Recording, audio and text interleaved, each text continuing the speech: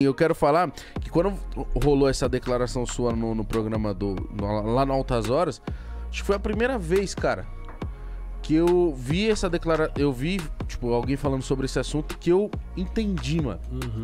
Que eu, na hora que eu falei assim, mano, eu falei, caralho, como é importante cotas. Como é importante, tá ligado? Porque, juro, cara, juro, não, não vou ser hipócrita. Quando eu era mais moleque, o que chegava pra mim era que cotas era tipo. Tipo, como, como se você estivesse dando esmola, Aham, tá ligado? aham. E aí soava isso como, tipo, mais errado ainda pra Uhum, mim. Eu falei, uhum. mano, como assim, mano? Vocês estão, tipo, humilhando o cara, Uhum. só colocando ele lá dentro porque, sabe? Aí eu ficava, tipo. Aí quando você falou, eu entendi. Eu falei, mano, caralho. Então, como é que começou isso, já que você falou? Primeiro eu vou começar pelo que você tá falando, cara. Esse teu pensamento, infelizmente, ele é comum porque é pintado dessa forma, tá ligado? As cotas raciais sempre foram pintadas de forma demonizada e equivocada, sempre tendendo para esse tipo de pensamento. Então, eu tinha umas, umas ocasiões no- lá no Serginho Grossman que você vai como músico e outras que você vai só pra desenrolar, pra fazer o podcast da época lá, Sim. né? Aquela resenha lá. E dessa vez eu tinha ido pra resenha, pra, só pra falar. Aí tinha uma brincadeira que o Serginho pegava uma caixa preta, aí escolhia alguém da plateia, que aparecia no telão, a pessoa es- metia a mão na caixa, puxava um assunto, apagava a luz toda, um foco de luz só na pessoa, Nossa senhora. discorra sobre o assunto. Porra, o cara puxou e veio cotas raciais. Quando veio cotas raciais, a plateia. Ih, ih. Aí o maluco. Hum, assuntinho. Maluco assim. É o maluco da cor de vocês, sarará, tá ligado? O cabelo assim, pô, pichain, mas meio pro alourado, tá ligado? Misturado. Aí o maluco começou a falar que não que era contra as cotas e tal, mas ele não explicava o porquê. Não, eu acho que isso é uma pouca vergonha. Não, não, não, acho que isso não, não. Ele não conseguia se explicar. Aí o Serginho ainda tentando puxar dele, mas por quê? Aí, então tá bom.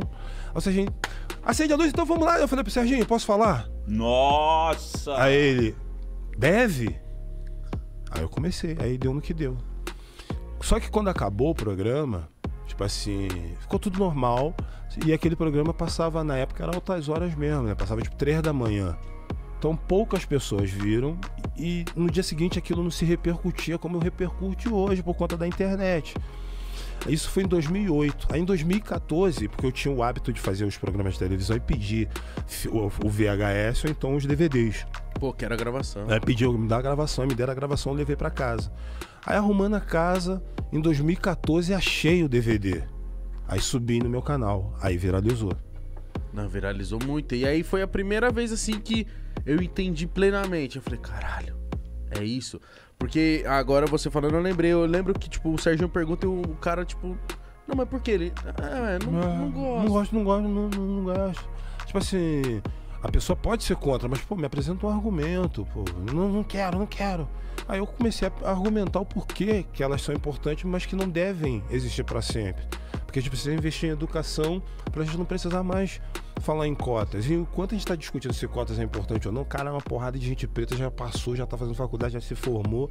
E a gente tá nessa discussão pra saber se vale a pena ou não, se vai mudar alguma coisa ou não. Tá ligado? Eu sei que foi um bagulho importante, viralizou, essa fala ela foi usada em muitos lugares, escolas, faculdades. de exemplo, com certeza.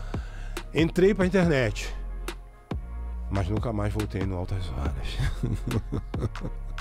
Por causa que você soltou o vídeo? Nunca- não, nunca, depois dessa fala, nunca mais me chamaram lá. Caralho. Mas eu prefiro não ser chamado, se for o caso, do que ficar calado na parada que eu tinha que falar, mano. Tá ligado? Eu prefiro entrar pra história pelo que eu falei do que entrar pela história pelo silêncio que me que tomou conta de mim na hora. Você sabendo o que tem pra falar, mas É, se mano. omitir. Não, não vou, mano. Eu posso perder a cobertura, irmão. Mas eu não vou deixar de falar, não, mano. Mas, é, de novo, minha pergunta. Quando acabou o programa, como que foi ali a sensação, o feedback pra você? Você viu que na época isso aí. Tipo, a galera achou que você falou groselha ou a galera falou assim? Não. Caralho, tá aí. Segunda opção. Tá aí, foda. Mas, tipo, não voltei mais no programa.